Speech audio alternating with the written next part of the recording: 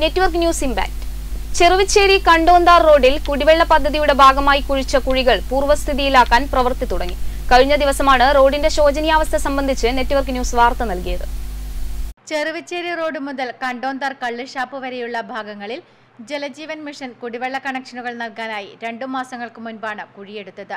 പൈപ്പിട്ടിട്ടും കുഴി പൂർവസ്ഥിതിയിലാക്കാത്തത് വാഹനങ്ങളെ അപകടക്കെണിയിലാക്കുകയും സമീപത്തെ വീടുകളെയും കച്ചവട സ്ഥാപനങ്ങളെയും പൊടിയിൽ മൂടിയും യാത്രക്കാരെ ബുദ്ധിമുട്ടിലാക്കുകയും ചെയ്തിരുന്നു.